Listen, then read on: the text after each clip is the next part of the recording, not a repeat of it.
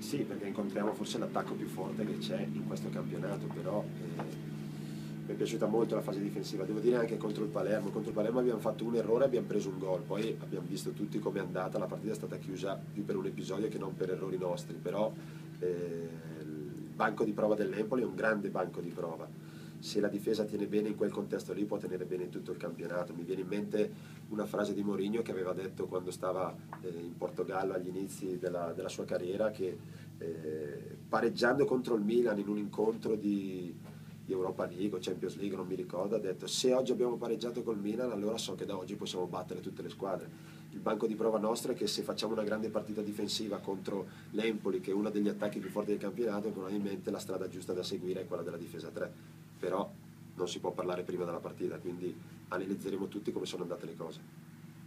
Hai citato il Palermo, cosa rispondi al comunicato ufficiale in cui hanno insomma, elogiato la prova degli arbitri anche in occasione della partita del Lugano?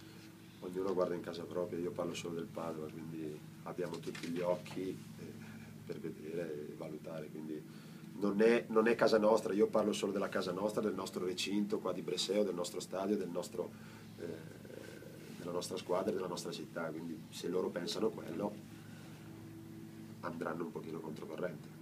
Ti faccio guardare in casa altrui, ma per guardare in casa nostra. L'anno scorso l'Empoli ha fatto la prima vittoria, mi pare, dopo nove partite, senza cambiare allenatore, senza stravolgere Contro le cose. Pensa, ah, I mortacci, se la ricorda.